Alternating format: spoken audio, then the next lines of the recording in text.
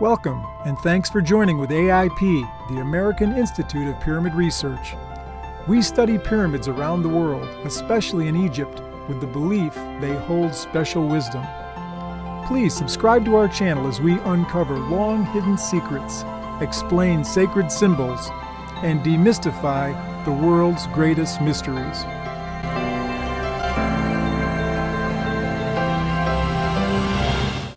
Well, thanks for joining. We've got an interesting study for you today the blueprint of the Great Pyramid, hidden by Hemiunu, the architect, in plain sight. Okay, so Hemiunu's mastaba, the place where he's buried, is in the western field at Giza, and it encodes the Great Pyramid. Uh, it's been given the designation by Egyptologists G4000, and the Great Pyramid, of course, is called G1. So G4000 yields G1. Manu Seyfzadeh, the great researcher, has this article about how the essential design of the Great Pyramid is encoded by its architect, Hemiunu. Okay, so here's how. This is a diagram by uh, the, the founder of Egyptology, uh, William Flinders Petrie, and he meticulously diagrammed the uh, basically the width, the height, if you want to say, of all the courses of the Great Pyramid. Okay, so uh, here, here's here's the map of that. So you can see that there's a peak there, and then it, the, the, courses go down for a while. Then there's another peak, and then they go down, and there's another peak. And so that's the pattern that's followed there. So he encoded these uh, different peaks by preceding these peaks with courses whose square area in cubits was a near even integer ratio of the pyramid's base. Now, that sounds kind of convoluted, but the idea is that you, the, the, you could take the base uh, area of every course, the 203 courses of the Great Pyramid, they all would have an area. Well, some of those areas are an almost an exact 125th, exact 25th ratio of the base of the Great Pyramid, okay? So, for instance, you know, there's 10 25ths. The, the, the base area of that course right there is 10 25ths of the, the base of the Great Pyramid. That course level, its area is 14 25ths, and that course level right there is 19 25ths. Okay, so the peak courses after the even 25th fractionals are associated with ceilings. Okay, so the pre peak courses, peak courses are, are these 25th fractionals. So for instance, the 1925th precedes the possible void chamber shown by the muon scans there. So uh, Seyfzadeh uh, says we could maybe find some of the what we think are the hidden chambers in the Great Pyramid because the known chambers we have this clue from Hemiunu. Why not just extend it to the upper chambers? Okay, interesting. Okay, some more encodings. Uh, take my my ARCE work that I did, the American Research Center presentation uh, I gave uh, last month at their virtual their first virtual uh, annual uh, convention and just work I've done around Giza. Okay, so uh, I took these pointers on the east side of the Great Pyramid and I showed that they pointed to places in the Great Pyramid itself. So this again seems to be Hemiunu's the designer here that this works because, you know, he's at work here.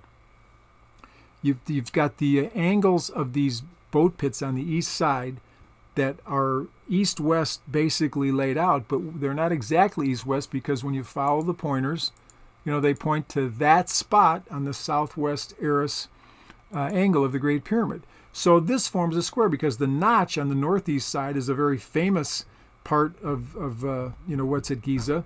It's a very visible structure. And then the both pointers converge that I just showed you there. So that forms a square. A square is plainly formed on the Great Pyramid. Okay, so there's the notch. Okay, and that's the square that, that Hemiunu seems to be pointing us to in the Great Pyramid. Uh, the air shafts of the King's Chamber exit at the 103rd course, according in the original casing stones, according to Petrie's diagrams there. Okay, so the north air shaft exits three royal cubits east of the north-south axis, but it again it exits on our Great Pyramid Square, and the south King's Chamber air shaft exits 10 royal cubits east of the north-south axis, but again on this square. Look at all the connections to this Great Pyramid Square. But there's more. So there's a line through the, this is uh, the south uh, side of the Great Pyramid, and that's where the uh, air shaft exits right there. Now think in terms of the architecture of the Great Pyramid. In terms of singular changes from like one chamber to another, one passage to another, one of the largest would have to be this one right here Okay, you're in the first ascending passage, and then you walk, come into the grand gallery, 28 foot high ceiling. The sense of the expansive sense you get there, and then all these passages come together. The the Queen's Chamber passage, the well shaft, the first ascending passage. That would be the singular spot. And guess what? This square, this Great Pyramid Square we're talking about, goes exactly over that spot. So incredible. Now, John Romer writes the only sign of genuine intention can be the harmonies of angle, form, and size. Okay, so I'd say we're finding that with these boat pits and these inner passages with this Great Pyramid Square. That's intentional. Hemiunu did that.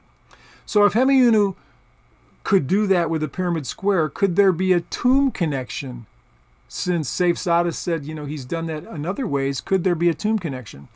So uh, I don't know why I picked a, a distorted picture here because it's plain the Great Pyramid doesn't look square there, but this works in other other photographs because I've done this before. Uh, so the square is in blue, and so uh, you can see that the boat pointers point to that southwest arris angle there, the black in black. And notice the white line and the green lines, okay? So there's Hemiunu's tomb, G4000. Look at the north, again, the north side of our Great Pyramid Square points directly west to that mastaba. And the center of the Great Pyramid, going directly west, is the southern part of Hemiunu's tomb. Wow. And then if you take the uh, southernmost of the two eastern north-south boat pits and put it through that southwest corner of the template, it goes again right to the northwest corner of Hemiunu's tomb. This can't be by chance. So Hemiunu, I'm standing here. Uh, I got permission a couple months ago to go back to his tomb. Incredible what you've left for us here at Giza. You, you've put your stamp. You've shown that you are the author, uh, you know, one of the authors of the Great Pyramid, the great designer, the architect. Because again, this speaks to the debate about who built the Great Pyramid. You know, Hemiunu was the nephew of Khufu, the builder of the Great Pyramid. He was the grandson of uh, Sneferu, who was Khufu's father and uh, his tomb is there. We know about him. We've got his statue. He built. He, he's the architect of the Great Pyramid. Okay, but there's more. Let's go to another uh, this boat pit pointer again. These are the two we've shown that, that point to the southwest, you know, uh, arris angle corner of our Great Pyramid Square. Okay, so if you just follow that through where it hits the southwest corner, look at that. It goes right to the southwest corner of Hemiunu's tomb. Incredible. Another pointer there. This is way beyond chance. This is it shows intention. Hemiunu, the architect of the Great Pyramid, is speaking. And then when you calculate the uh, the size of that course, the, the, the Great Pyramid Square, it's 200 cubits. The 103rd course is two, got sides of 200 cubits.